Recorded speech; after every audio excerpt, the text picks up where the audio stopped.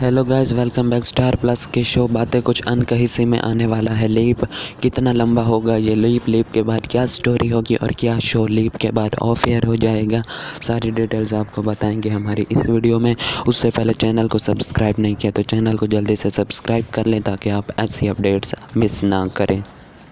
बातें कुछ अनकही से जब से लॉन्च हुआ है, तब से इस शो की जो टी आर पी है 1.5 1.6 इतनी आती होती है, इससे बढ़ने का नाम ही नहीं ले रही है। और अब फाइनली स्टार प्लस ने मेकर्स को एक नोटिस जारी किया है, जिसमें ये लिखा हुआ था कि अगर शो आने वाले कुछ हफ्तों में अपनी टीआरपी को बेस्ट नहीं करता है तो इस शो को ऑफ़ एयर कर दिया जाएगा। तो शो के प्रोड्यूसर राजन शाही इस शो को बचाने के लिए अपना आखिरी दाव खेलने वाले हैं और वो है लीप। शो में लीप आने वाला है। लीप का सहारा लेकर शो की टीआरपी जो है बढ़ाने की कोशिश की जा रही है। लेकिन आपको बता दें ये शो कोई बहुत लंबा लीप नहीं लेने वाला, सालों सालों का लीप कोई नहीं आने वाला इस शो में। महज छः महीनों का ये नया लीप होगा जो इस शो में आने वाला है। और लीप के बाद तो ज़ाहिर सी बात है स्टोरी जो है वो बहुत ज़्यादा चेंज हो जाएगी। नए ट्विस्ट और टर्न्स हमें इस स्टोरी में देखने को मिलने वाले हैं, जिसके लिए ऑडियंस बहुत ज़्यादा एक्साइटेड है।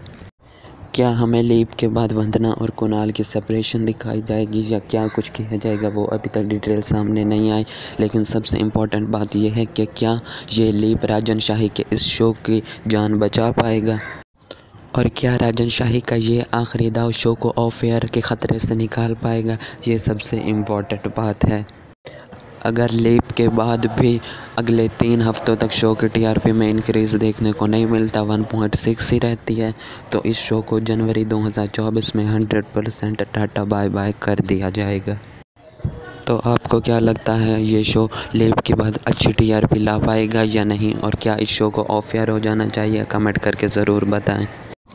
और एंटरटेनमेंट की तमाम अपडेट्स हासिल करने के लिए हमारे चैनल एंटरटेनमेंट अपडेट्स को सब्सक्राइब करके बेल के आइकन को दबा लें ताकि आपको ऐसे अपडेट्स मिलती रहें।